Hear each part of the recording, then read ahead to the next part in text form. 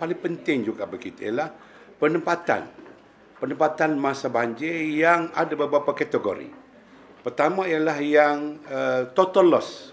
Rumah mereka hilang. Tinggal tapak rumah. Tinggal apa ni tuku apa lagi. Eh?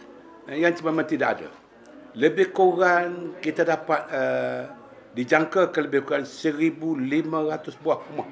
Ini sesuatu yang amat besar daripada di segi keperluannya dan kita sedang semak. Sedang semak dan saya kena pasti untuk kita selaras dengan pihak persekutuan.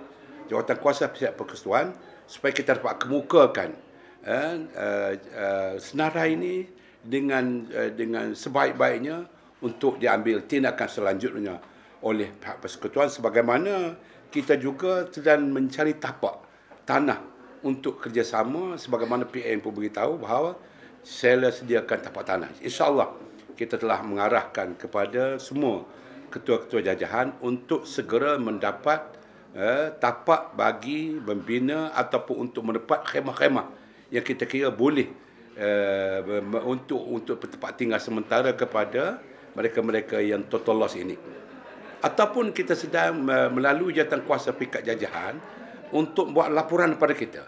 Mana-mana bangunan komersial yang telah yang ada di jawatan uh, di pikat jajahan masing-masing yang belum digunakan atau telah digunakan ataupun kuasa-kuasa kerajaan seperti kuota polis di Kuala Kerai ataupun uh, perumahan-perumahan yang kita kira ada di mana-mana jahan insya-Allah kita akan senarai dan kita akan kemukakan pada pihak persekutuan nanti untuk disewa kepada sewa uh, dan untuk menempatkan secepat mungkin kepada mereka-mereka yang kehilangan secara total. Ada juga rumah yang boleh dibaiki.